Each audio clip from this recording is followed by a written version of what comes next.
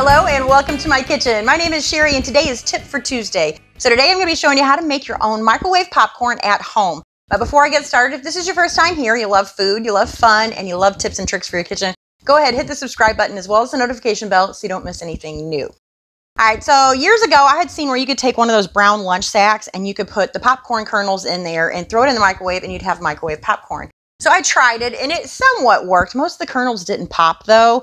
I didn't really care for it. I didn't think the popcorn was that flavorful because you didn't cook it in any oil, but it was a little bit healthier if you could get them all to pop. And I thought the bag probably doesn't have that much to do with it. I mean, pretty much relying on the heat. So I wondered if you could do it in a bowl, and turns out you can. So I've got a half a cup of popcorn kernels here that I'm going to put in my bowl.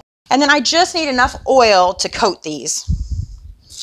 And you might be able to do this without oil, but so I just want to make sure all my little kernels are coated.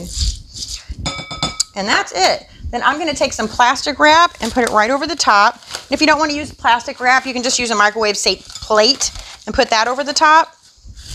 And then I'm going to toss this in the microwave for five minutes. Now, it usually takes about three and a half. I'm saying five because everyone's microwave is different. So just put it in there for, for five and then just stand there and listen until the pops become like once every two to three seconds. And then you'll know it's time to take it out.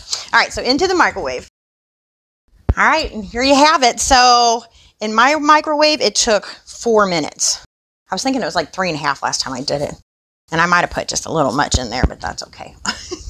All right, so I've got a little bit of melted butter here. I'm tossing on top. We don't eat popcorn every day, so a little bit of butter is not going to hurt. and then a little bit of garlic salt.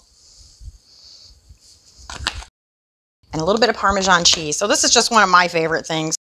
You know, sometimes I might use a ranch packet. Sometimes I might use a packet of like powdered cheese that came out of Kraft Macaroni and Cheese box. Just any kind of seasonings that you like. So I hope you guys give this a try because it's really easy. It's quick.